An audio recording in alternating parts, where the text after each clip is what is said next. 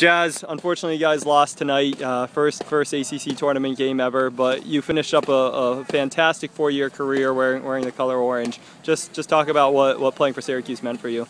Um, I mean, it's been a great experience just playing with the group of girls that I've played with, and this year has by far been the greatest. And um, like tough loss, but I definitely am leaving like happy and not like you know um, I worked really hard these four years, and I'm just proud that I was able to leave my mark and to just teach the younger girls like something, and um, for them to just go on and hopefully do really well next year and the years after that. And I'm just really proud of how we, far we've come from the beginning.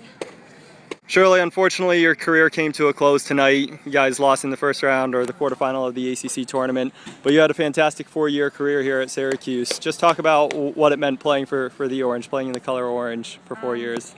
I think that it's meant a lot just because we're kind of underdogs wherever we go.